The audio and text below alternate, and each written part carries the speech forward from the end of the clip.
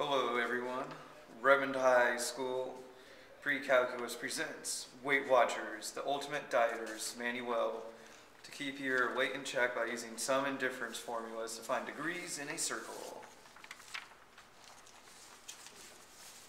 Big Bertha has just joined the RHS Weight Club in hopes to take control over her slightly overweight body. In addition to exercise, a healthy diet is also part of the curriculum.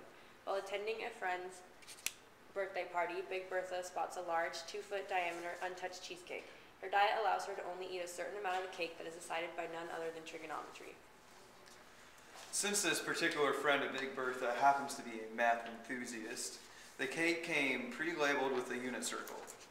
However, the slice Big Bertha is allotted does not neatly fall on the 30 degree or 45 degree mark. She can only have a 105 degree slice, which is not labeled on the, on the cake. How can we find out where 105 degree slice is? By using the sum and difference formulas, of course. We can start off by saying what two degree markers make up 105 as it is not given directly. There is more than one way to do this, but we will choose 150 degrees minus 45 degrees. There are two steps to this problem, to find cosine and sine of these degrees. First, let's find cosine.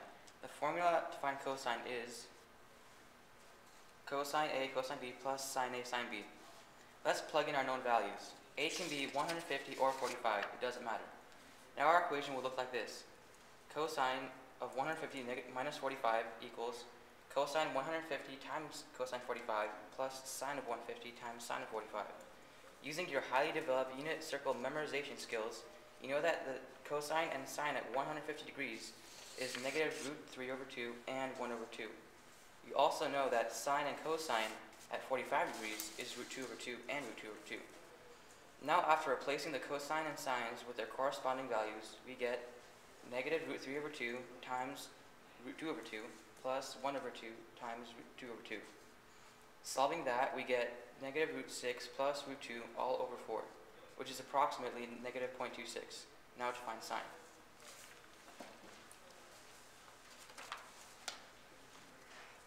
Finding sine is a similar process. The only thing that changes is the formula we use.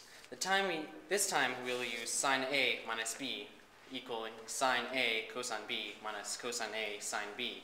Plugging into our known terms, we get sine of 150 times cosine of 45 minus cosine of 150 times sine of 45.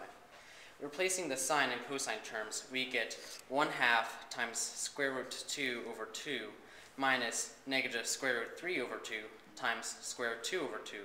This simplifies to square root 2 over 4 plus square root 6 over 4, which is about equal to 0.97.